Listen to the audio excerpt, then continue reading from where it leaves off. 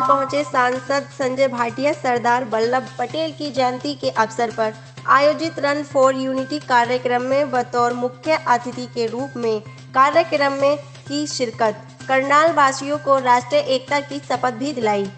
इसी कड़ी में जिला प्रशासन की ओर से कड़ स्टेडियम ग्राउंड में रन फॉर यूनिटी मैराथन का आयोजन किया गया। लोह पुरुष सरदार वल्लभ भाई पटेल ने आज़ादी के बाद देश की विभिन्न रियासतों को जोड़ने का कार्य किया। इसलिए उनकी जयंती पर उन रन फॉर यूनिटी दौड़ का आयोजन किया गया।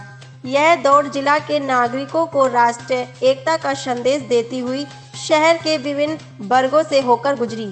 इस दौड़ में समाज के नागरिक, स्वयंसेवी संस्थाओं के सहयोग ने भाग लिया। जिला प्रशासन के तमाम अधिकारी भी मौजूद रहे। लड़कियों की विंग को भी इस मैराथन से जोड़ा गया। दौड़ थी और आज हम अपने हिंदुस्तान के लोह पुरुष कहे जाने वाले हमारे सरदार वल्लभ भाई पटेल जी को हम याद करे थे, जिन्होंने आज़ादी की लड़ाई में बड़ा अहम योगदान दिया, किसानों के हक की लड़ाई लड़ी और सरदार की पदवी पाई।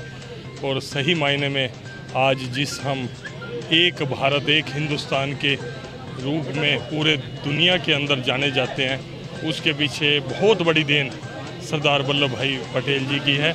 हमें आने वाली अपनी संतानों को अपने इस गौरवशाली इतिहास के लिए, ऐसे महापुरुष के लिए अधिक से अधिक जानकारी देनी चाहिए, ताकि हमारी आगे आने वाली पीढ़ी उनसे प्रेरणा लेकर, जिस तरह हम छोटे छोटे इश्यूज़ पर बट जाते हैं, उस पर ना बटकर, एक होकर इस देश को आगे लेके जाए। सर, आज क्या कार्यक्रम किया गया?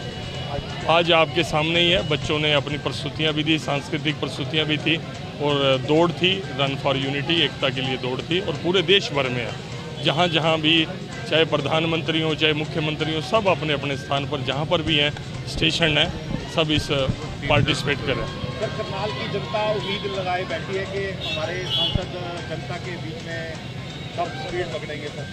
वो आपको मेरे वर्किंग से पता लग जाएगा। मैं दो तीन दिन से अपने क्षेत्र के अंदर ही हूँ। इसके लिए कोई दावा करने की मुझे ज़रूरत नहीं है। हाँ, मेरे सांसद के साथ साथ मेरे पास अपने संगठन का भी दायित्व था और सबने देखा मैं जन आशीर्वाद यात्रा में और उसके बाद चुनाव के अंदर जो जिम्मेवारी मुझे संगठन की तरफ़ से दी थी मैं उसी में लगा हुआ था। और आप अपने मीडिया की तरफ़ से आप ये ज़रूर बात उठाइए कि सांसद जी आएँ अपने क्षेत्र में ताकि कल को मीडिया इम्पैक्ट आए आप लिख सकें जी। हमारे बात उठाने के बाद संसद जी सक्रिय हो गए। मैं सक्रिय हूँ भाई साहब। धन्यवाद।